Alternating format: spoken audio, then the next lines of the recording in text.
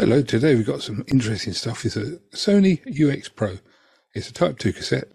We'll have a look and see if it's in a good place of music, see where we go from there, and look to see all round whether it's a, a thing worth having or not. Let's get stuck in. This background music was recorded on the Sony Pro using the W1200, and you can hear it's rather nice. I'll give you a few seconds to listen to it.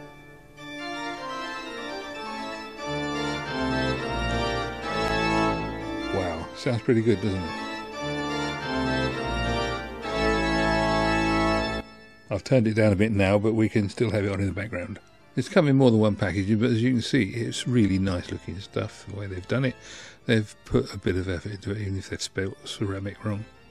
And there we go, we're talking about the tape being really high quality with ceramic guides, which you can see on here. Let's start with the buff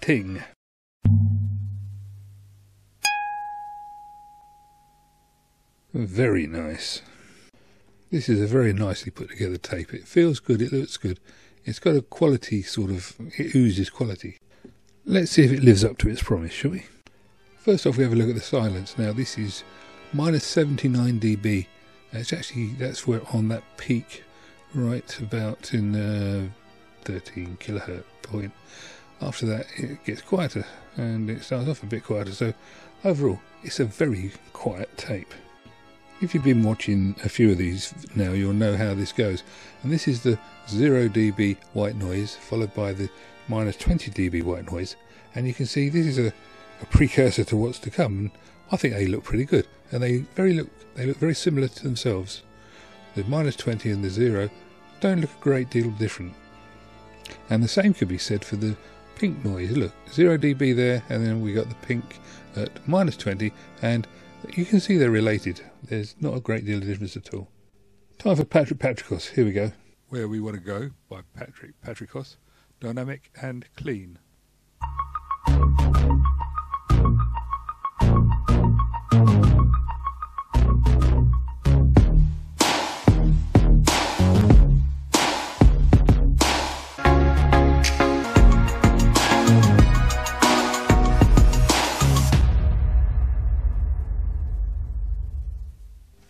Again, wow, and for completeness, here's the minus 20 version.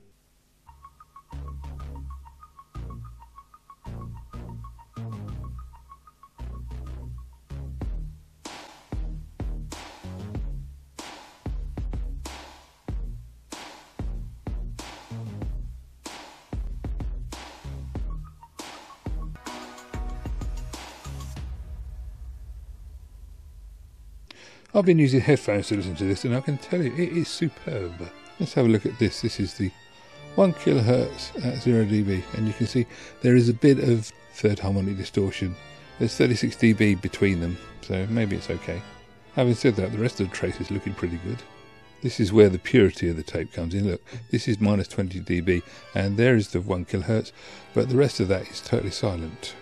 Looking at that, that means that this is a very good tape, if you record it within the normal sort of parameters, you're not going to get anywhere near the distortion you could get on a lot of other tapes. If any of you guys have got any experience of using these tapes, I'd be really interested to hear about it. Put, put your experiences in the comments and share with others. Next, we'll be looking at the minus 20 dB and the 0 dB 3 kilohertz, see how that gets on. Then we'll be looking at the frequency sweeps on both of them and we'll see where we go from there. So, more to come. Anyway, let's get on with it.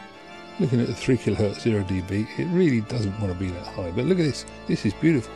This is the minus 20. This tape really does not benefit from being overdriven. At these levels, you can see how pure the signal is. And now, what we've all been waiting for, what's the frequency response like on these? Absolutely superb. Look at that, all the way up to 20 kilohertz. And again, at minus 20, we've got a similar signal all the way up to 20 kilohertz. Very impressive. Very nice tape. Let's have a look at the overdrive. And this really confirms that if you overdrive the tape, you bring up the background noise level, so it's not worth it. Take it up to zero, and then you'll get the best response you can, and it will be absolutely superb. My conclusion is if you can get hold of one of these tapes, buy it. It's worth it. I'll be interested in your experience with these tapes or anything similar, and like, subscribe, and we'll catch you another time. Cheers, bye.